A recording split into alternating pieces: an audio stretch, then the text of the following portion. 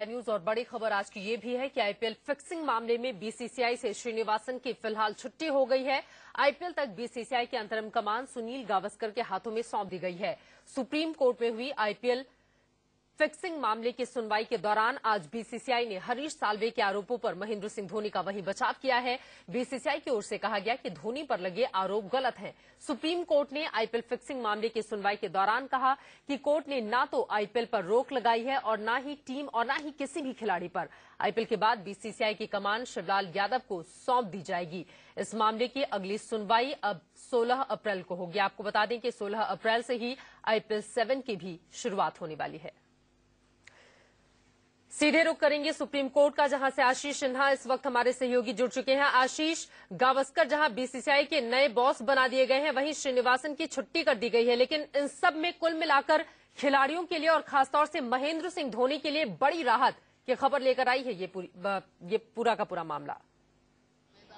Bill, bill, बिल्कुल चित्रा खिलाड़ियों के लिए भी राहत है क्रिकेट प्रेमियों के लिए भी राहत है साथ ही आईपीएल से संबंधित जितनी भी टीमें हैं, उनके लिए भी राहत की सांस है। क्योंकि कल जिस तरह से सुप्रीम कोर्ट की सुनवाई हुई और सुप्रीम कोर्ट ने संकेत दिया था कि वो चेन्नई सुपर किंग्स और इसके अलावा राजस्थान रॉयल्स को बैन कर देगा आईपीएल में खेलने से, आईपीएल सेवन में खेलने से। वो फ़िलहाल उसमें उनको राहत मिली है। सुप्रीम कोर्ट ने साफ़ कर दिया है कि ये दोनों टीमें खेलेंगी, साथ में किसी भी खिलाड़ी को खेलने पर प्रतिबंध नहीं लगाया है। वहीं गवास्कर को उन्होंने जब तक आईपीएल चलेगा, बीसीसीआई का कार्यवाहक चेयरमैन बना दिया है। इसके बाद जो इसके बाद जो इस समय बीसीआई सेकंड पोजीशन पे है शिवपाल यादव वो इस पोजीशन गवास्कर के बाद वो इस पोजीशन पर आएँगे। सबसे बड़ी बात है कि श्रीनिवासन अभी भी फ़ायदे में है क्योंकि मई या जून में आईसीसी का चुनाव होने जाना है भारत ने पहले ही श्रीनिवासन का नाम दे, दे दिया है और अगर वो आईसीसी के चेयरमैन चुने जाते तो भी उनको बीसीसीआई का पद छोड़ना पड़ता लिहाजा श्रीनिवासन अभी भी सुप्रीम कोर्ट के तीखी पटकार के बाद सुप्रीम कोर्ट के इस फैसले के बाद भी उनको उम्मीद की किरण नज़र आ रही है। बहरहाल देखना यह होगा चित्रा की, जब 16 अप्रैल को इस मामले में सुनवाई होगी तो एक सील बंद लिफाफा मुगदल कमेटी ने सुप्रीम कोर्ट में सबमिट किया था, जिसमें छह खिलाड़ियों के नाम थे जो अभी प्रेजेंट में क्रिकेट खेल रहे हैं। क्या उन खिलाड़ियों के नाम पर चर्चा होगी या नहीं, ये देखने लायक बात होगी। चलिए, आशीष, आप हमारे साथ बने रहिए। चर्चा आपके साथ हम जारी रखेंगे। कुल मिलाकर कम से कम खेल बच गया है और क्रिकेट को क्लीन करने की ये कवायद मानी जा रही है। इस पूरे मामले में प्रतिक्रिया आई है सामने, वो सुन लेते हैं। जब तक आईपीएल मैच चलेगा सुनील गावस्कर बीसीसीआई का अध्यक्ष का कार्यभार देखेंगे। बाकी बाकी जो बीसीसीआई का उपाध्यक्ष है जैसे बीसीसीआई के काउंसिल ने कहा कि शिवलाल यादव उपाध्यक्ष है तो वो अध्यक्ष का कार्यभार संभालेंगे। अच्छा है टीम्स बैन नहीं हुई है सारे खिलाड़ियों को खेलने का मौका मिलेगा। और बहुत बैलेंस्ड ऑर्डर है दोनों साइड्स के इंटरेस्ट को ये ध्यान में रखता है। देखिए सुनील गावस्कर बहुत एक्सपीरियंस प्लेयर भी हैं बहुत एक्सपीरियंस कमेंटेटर भी हैं और is a very highly educated person तो आई एम श्योर वो एडमिनिस्ट्रेशन अच्छी तरह चला पाएँगे। आईपीएल तक प्रेसिडेंट रहेंगे। ये बड़ी अच्छी बात है।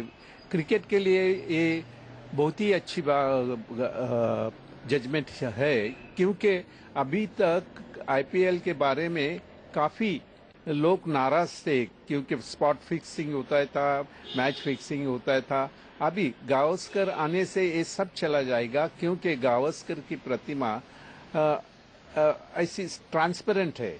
आ, वो कभी ऐसे इन बातों को कभी प्रोत्साहन नहीं कर देंगे। फिक्सिंग और स्पॉट फिक्सिंग ये बंद हो जाएगा ऐसा मुझे लगता है।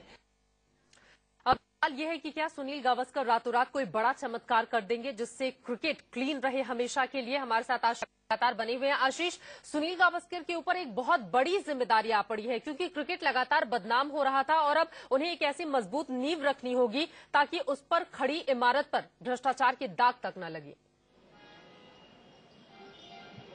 ज़ाहिर तौर पर सुनील गवास्कर के ऊपर बहुत बड़ी ज़िम्मेदारी है, क्योंकि लगभग एक महीने से ज़्यादा का टेन्योर उनका रहेगा एज अ बीसीसीआई चेयरपर्सन उस दौरान उनको एक मज़बूत न्यू रखनी पड़ेगी, क्योंकि सुप्रीम कोर्ट ने साफ़ कर दिया कि क्रिकेट जो है, वो एक सभ्य लोगों का खेल है। सुप्रीम कोर्ट ने जब मंगलवार को इस मामले में सुनवाई हुई थी, तब साफ़ साफ़ कह दिया था कि जब तक श्रीनिवासन रहेंगे, तब तक इस पूरे मामले में निष्पक्ष जाँच नहीं हो सकती। लेकिन अब गवास्कर के ऊपर यह ज़िम्मेदारी होगी कि वो एक मज़बूत न्यू रखें, जिसको आगे चलकर शिवलाल यादव यादव जो बीसीसीआई के कार्यवाहक बने कार्यवाहक चेयरपर्सन बनेंगे जब तक सुप्रीम कोर्ट इस पूरे मामले में फैसला नहीं सुना देता वो इस इमारत को खड़ा करेंगे। ज़िम्मेदारी सुनील गावस्कर के ज़्यादा होगी क्योंकि न्यू की अ, न्यू उनको रखनी है और न्यू के बुनियाद पर ही इमारत कितनी दिनों तक चलेगी वो तय किया हालाँकि ये सब कुछ डेढ़ से दो महीने का ही होगा क्योंकि उसके बाद शिवलाल यादव बीसीसीआई के नए चीफ बना दिए जाएँगे। फ़िलहाल के लिए शुक्रिया आपका इस पूरी जानकारी के लिए।